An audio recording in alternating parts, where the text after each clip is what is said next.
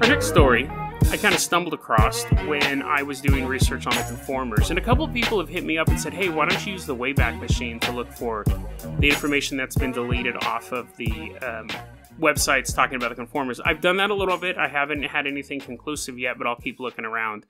You know, I know that that one link from UFO Digest, I absolutely know that one link from UFO Digest. The reason why I bookmarked it, because it had information about the conformers. And when I went to pull it back up, it was gone.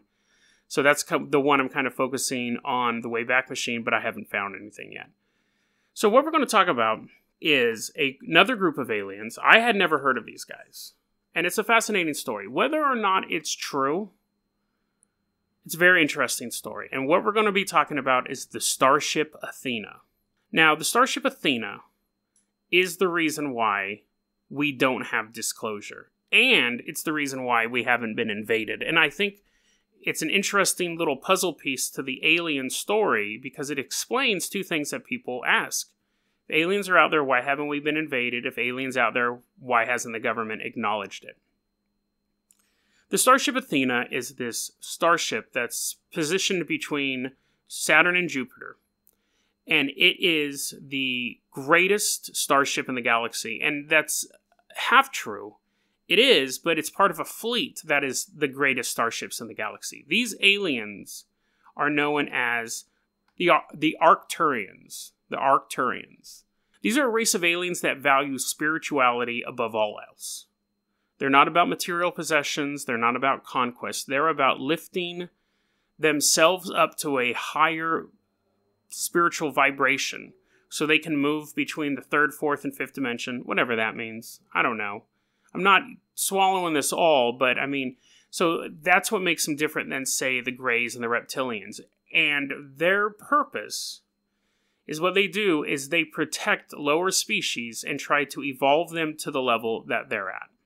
They want people to kind of come to them. They're about free will. They're not about they're not they're when they com- compare to the grays who like abduct people and the reptilians who supposedly eat people the Arcturians are more like, we want you to come to us, and in the meantime, we'll protect you from all threats. So, the reason why the Greys and the Reptilians haven't done a full scale invasion of Earth is because they have this massive ship. I mean, they're basically the security guards of the Earth's gated community, in a sense. These guys, they're known for have their skin's greenish, apparently. They have big eyes, three fingers, and they're telepathic. That sounds a lot like a gray, but they're different. They're a different race, apparently. And they just kind of sit there and they will accept visitors from time to time. I mean, this is where the story gets a little ridiculous. So those those initial those initial things, I'm like, okay, you know, I can definitely see that. And then they, when people are sleeping, they take them up to their spaceship, their souls up to their spaceship, and repair their souls and all that stuff. And I don't know. I mean, once you start getting into kind of the weird mystical stuff, you kind of lose me. One thing I think is interesting is that, you know, I've talked before about how alien biology should be different than human biology because we've evolved on different planets. Now, when we talk about human spirituality versus alien spirituality, the gulf would be far more vast than the biological gulf. And here's why. Humans the way that w- the way that we're designed biologically is that we're we are constantly given choices. We can indulge or withhold. We can eat eight cheeseburgers today and then we'll pay for it later on. Or we can withhold eating the eight cheeseburgers and we make that little sacrifice and we gain something, you know, being overall health. So every decision we make is something that we're either it's all about you know we either withhold something or we indulge something. Going back and forth. You can say I'm going to sit here and I'm going to play video games for 2 hours. I'm going to have a lot of fun.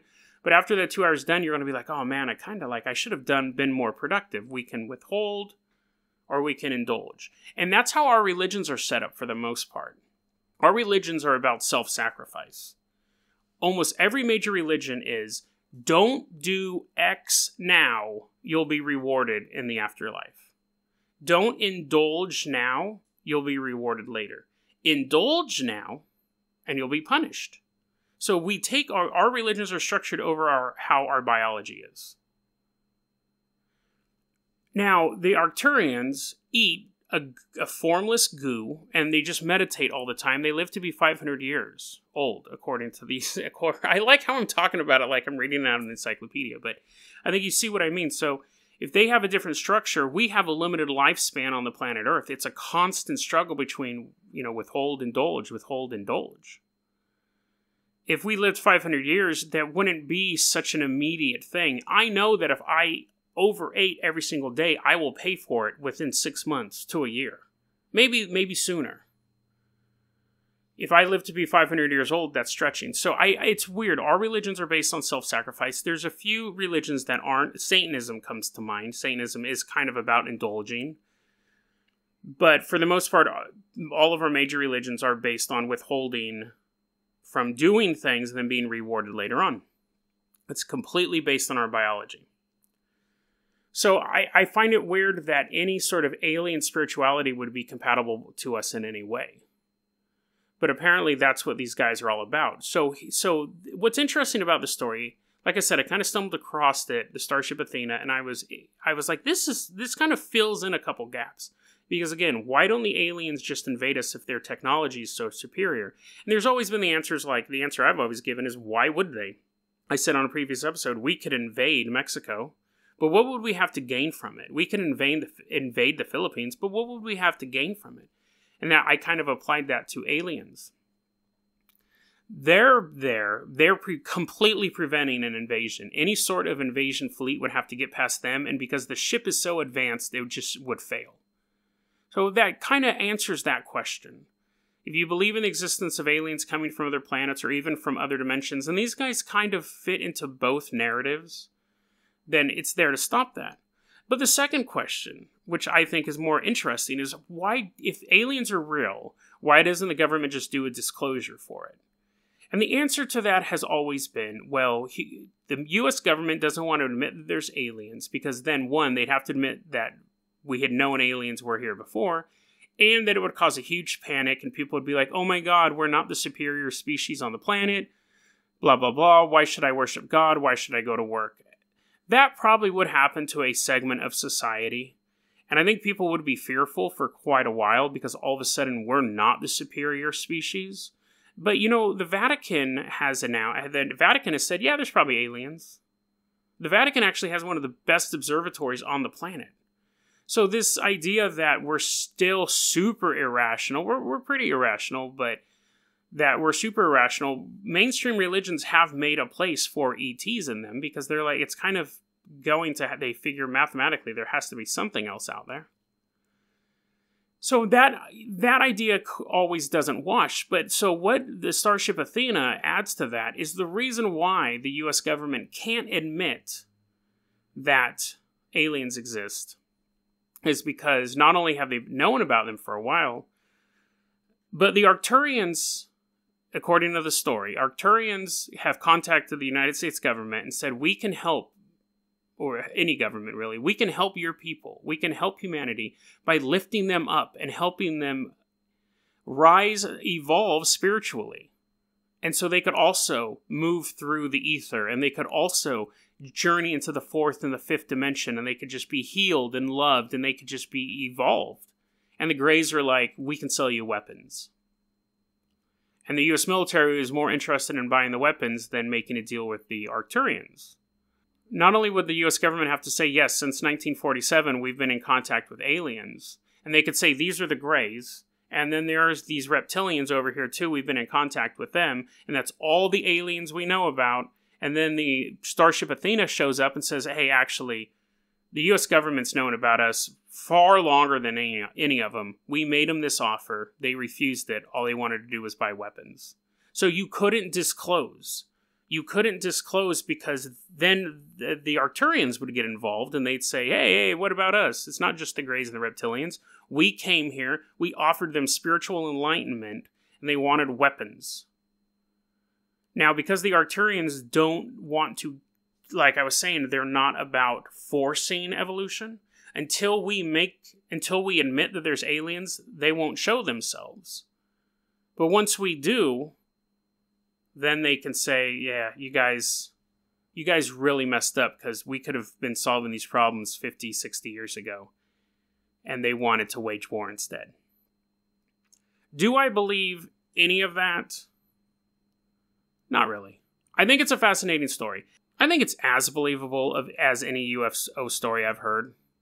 I mean, it is. It's not. You know, I, I've heard dumber UFO stuff. I think it fills in the gaps. I think it's an interesting story, and that's the thing. Like, sometimes it's not about. This is going to sound funny, but sometimes it's not about whether or not it's 100% true. Sometimes it's about adding to the mythology. Sometimes it's about adding to the story, adding to the overall mythos of the aliens, because it fills in some valuable points. And it adds a bit of color to it. It adds this kind of silent guardian, this, I don't want to say dark knight, that's a little pretentious, but you know, this kind of, this force that's kind of watching over us, that's keeping us from being overtaken but not someone that we know on a day to day basis. They're not hyped up in the movies, they're not hyped up on X Files or anything like that. So I think it's an interesting story. If someone said, Jason, would you bet money that these guys are real? No, of course not. I wouldn't bet money on, that any real UFO sighting was real. Even if I saw it myself, I probably wouldn't bet money on it. I'm more of a ghost guy than I am a UFO guy, but I, I bet money that ghosts are real, actually. But but that's besides the point. My point is is that I think it's a, an interesting story. It's an interesting part of the mythos. And again, oh, and I do I should say this too. Apparently, there's footage of the Starship Athena being caught in a solar flare because they show this solar flare going off, and there's like a a black box, a kind of blocking part of it.